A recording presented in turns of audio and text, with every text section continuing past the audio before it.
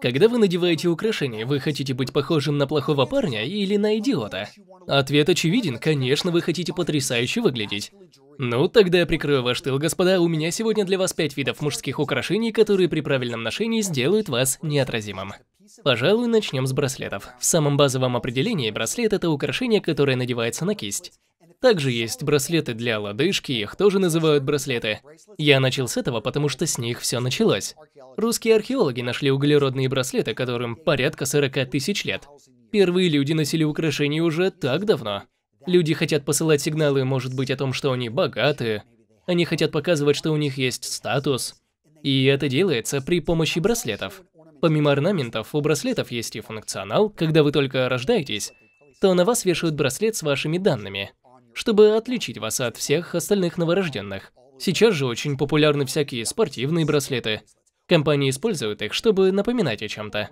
И в этом сила браслета, как и украшений в целом. Они служат как напоминание того, что происходит в вашей жизни и что для вас важно.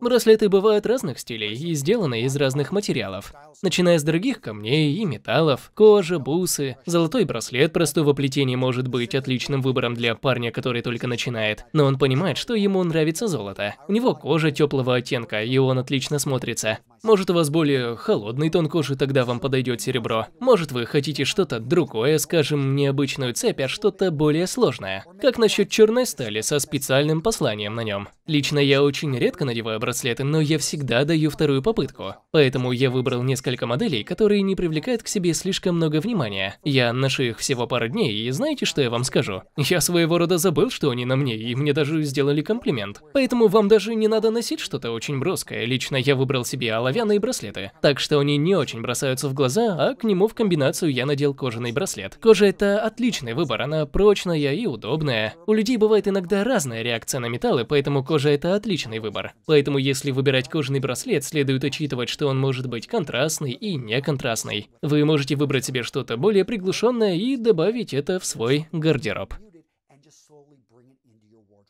Давайте теперь поговорим о кольцах. Кольцо – это круглый обруч вокруг пальца. И есть четыре типа колец. Вы это знали? Давайте я вам объясню. Не все кольца будут состоять из четырех частей. Если это простое кольцо, без камня и без гравировки, тогда это простое кольцо. Итак, другие три части, если у кольца есть центральная часть, в которую обычно помещают драгоценный камень или гравировку, эти части называют плечи, желобок и крепление. Плечи – это часть, где кольцо начинает изменять свою траекторию, оно выравнивается. Желобок – это часть, где располагается крепление. Ну и крепление – это часть, куда помещается драгоценный камень или гравировка. У колец нет такой длинной истории, как у браслетов, но они появились довольно-таки давно, примерно 5000 лет назад. Египтяне и другие цивилизации начали использовать кольца. Изначально это был символ власти. Если вы могли позволить себе какое-либо украшение для ваших рук, то это был моментальный признак вашего состояния и какой части общества вы принадлежите. В средние века произошло что-то более интересное. Появилось поверье, что некоторые камни обладают определенными силами. Тогда люди начали вставлять камни в кольца. Это также показывало власть, но также считалось, что такие кольца служат оберегами, и они могут защитить хозяина от таких бед, как чума. Затем, в 16-17 веках, когда начали появляться книги о замужестве, кольца заняли свою нишу. Что означает кольца на разных пальцах? Ребята, не волнуйтесь, у меня для вас есть видео на эту тему, ссылка на него в описании. Так что, когда закончите с этим видео, переходите по ссылке и смотрите его. Далее у нас идет ожерелье. Как и браслеты с кольцами, у него длинная история. Это примерно 500 лет назад, а в некоторых записях даже больше. Кто носил такие вещи? Мы говорим о самаритянах и вавилонцах. Это месопотамцы и египтяне. Все любили ожерелья. Но вот интересный факт в том, что ожерелья часто были связаны с религиозным подтекстом. Эта вещь украшает человека, она изготавливается из различных драгоценных металлов, камней. Также могилы, можно найти различные захоронения, в которых лежат мумии с ожерельями. Их отправляли в загробную жизнь в лучшем виде. Блиц-опрос, а вы знаете, какие виды ожерелий существуют? Итак, первый вид – это колье-чокер. Мужчины могут надеть чокер, но в целом это женское украшение. Длина примерно 30-35 сантиметров. Далее идет ожерелье принцессы. Ну, я бы сказал, что ожерелье принца, потому что да, мужчины могут носить такую длину – 45-50 сантиметров. Далее идет ожерелье матюне, его длина примерно 55-60 сантиметров. А все, что больше 60 сантиметров, это уже будут ожерелья, опера или роуп. Ну и как же надеть ожерелье и выглядеть хорошо при этом? Ну, лично для меня это, во-первых, испытывать комфорт и придерживаться простоты. Если вы выросли нося ожерелья и решили разнообразить ваш образ летом и надеть что-то, что привлечет внимание к вашей груди, потому что вы следите за своей формой, тогда ожерелье – это отличный способ. Может, у него есть религиозный смысл для вас. Я знаю, многие люди носят крест. Может, вы хотите просто повесить кольцо на ожерелье, потому что это для вас имеет определенное значение.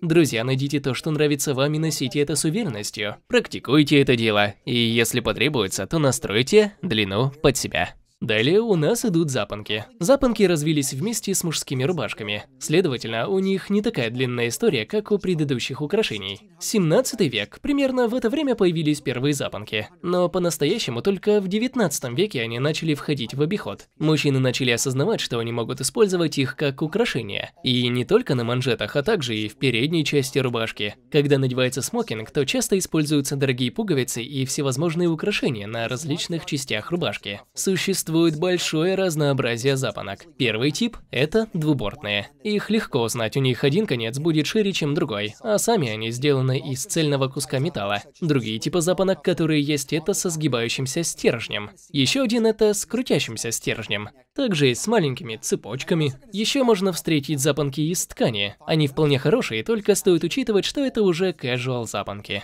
И вот в чем секрет запонок, чтобы их надеть у вас должна быть причина. Во-первых, еще у вас должна быть подходящая рубашка. У вас должна быть рубашка с французскими манжетами. Это рубашка, у которой манжеты сделаны специально для того, чтобы застегиваться при помощи запонок.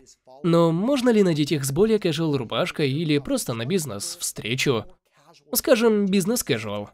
Да, запонки можно носить и в более повседневных ситуациях. Давайте теперь поговорим об игле для галстука, о прищепке для галстука, о зажиме для галстука. И есть еще много других названий. Да, я говорю об украшении, которое сделано специально для того, чтобы ваш галстук был на своем месте. Мы переносимся в далекое прошлое, когда галстуки только появились. До галстуков были шейные платки, а до них были просто шарфы, которые обвивали вокруг шеи. Мужчины носили иглы, которые пронизывали шарф и платки, чтобы те держались на своем месте. Это было функционально. Это была маленькая деталь, которая не привлекала к себе много внимания. И с эволюцией галстука эта заколка развивалась вместе с ним. Единственное, что мне не нравится в иглах для галстука, это то, что она делает в нем дырку. Так что все эти иглы для галстука, я бы не рекомендовал их вам, лучше использовать клипсу. Такая клипса, она не портит галстук, она просто крепко сжимает его и держит галстук на своем месте. Если вы идете на ужин и собираетесь нарядиться, вы ведь не хотите, чтобы ваш галстук попал в суп. Итак, где же расположить эту клипсу? Лично я стараюсь ее держать на уровне ниже второй пуговицы и выше четвертой. Вы можете поиграться с парой сантиметров, конечно. Мне больше нравится, когда она выше, чтобы она все-таки привлекала немного внимания, особенно когда вы в пиджаке. Насчет правил, что она должна быть под наклоном или ровной, э, тут уже на ваш вкус. Что мне нравится в этих клипсах, это единственный вид украшений, который был официально разрешен военными во многих подразделениях. А что насчет сережек? Друзья, я хочу услышать ваше мнение. Что вы думаете на тему мужчины сережек? Стоит ли мужчинам носить серьги или нет? Но я хочу это услышать от вас в комментариях. Друзья, я приготовил для вас отдельное видео.